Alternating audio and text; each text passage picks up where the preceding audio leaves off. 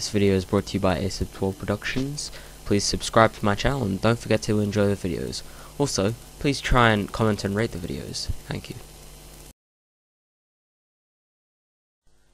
Hello, this is Asib12 and I'm just going to be continuing my HTML, CSS and uh, I'm also going to be including, including sorry, JavaScript in these series of tutorials.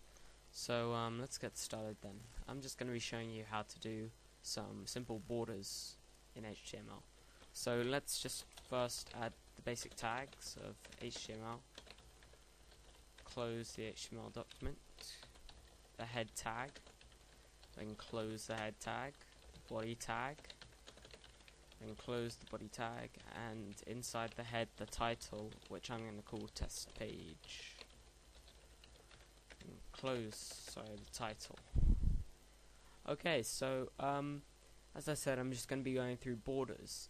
Now, what we first have to do when making borders is we have to div classes. So I went through the div tag before. I showed you how to use the style equals, and then style equals, let's say font dash family is Arial. And then you could input some text here, and then just close the div tag. So if we save this, just as um, okay so here's our test 2 and if oops just close that down a bit. Okay so here's our text and it's in Arial. If we delete this from the style tags it's it's gone back to the default which is times.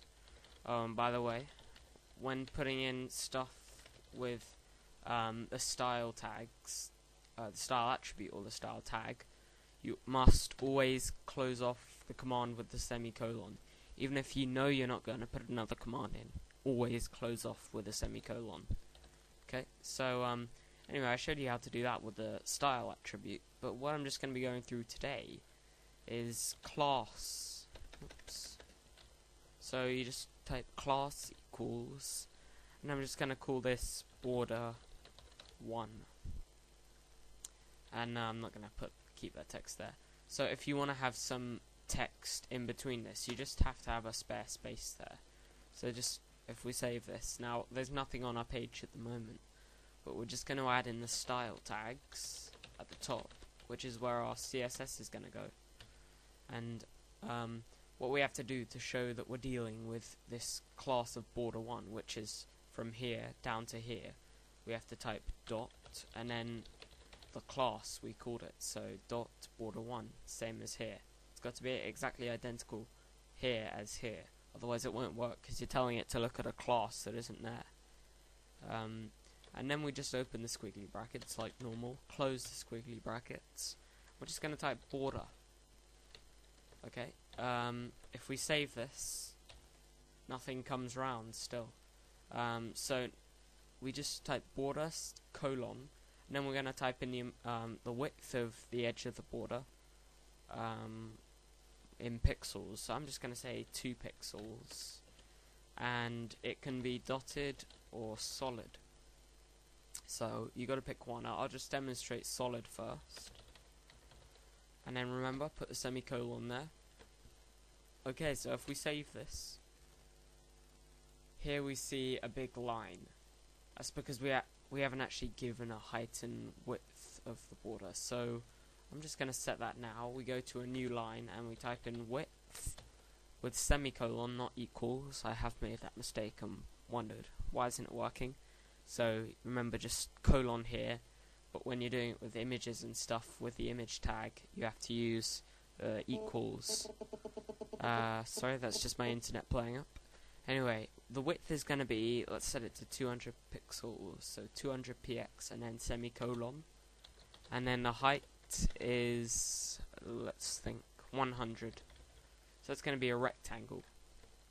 So if we control save, okay, so here we have 200 pixels of width and 100 pixels of height, and that's just the border.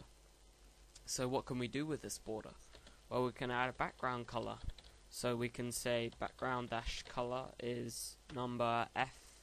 No, sorry, naught naught naught naught naught naught. Uh, this is hexadecimal colors. So I'm saying naught, naught, naught, naught, naught, naught, because in hexadecimal you think of it as pairs. So if you have an uneven number, you always add a zero to the end or the start. I can't remember which. But anyway, so this will say black. What it's actually doing is these two numbers. This represents the red. Oh, actually, not exactly, but it's sort of like that. If you think of RGB colors, like red, green, and blue. So this is saying none of those. So it's going to be completely black. If we just put that semicolon, Control S. Okay, so here we have our border, which is completely black. Uh, you can do like a grey. So 353535 I've been using. Okay, so that's a nice grey, but the border does stay black. Um, what you can actually do, I believe it works if you Oops, we can actually do it directly into here. We can say style equals, um, let's say color is white. I oh, know, wait, of course you can just do it in a border, can't you? Uh, so if we put in here, this isn't going to be the background color, it's going to be the color of everything in it, but it's also going to change the color of the um, border, I believe. So if we just type FFFFFF for white, full, full, full, yeah, okay, so our border's turned white. It looks like it's got smaller, but that's because the background's white. If I just change the background color, we can just type body. So now we're saying um, this refers to the entire body. Um, it won't affect things if you set the default um, family font family to something different. It will affect everything inside the body, but it won't affect it if you change it by adding another tag. Default um sorry side tags override default. So um just bear that in mind.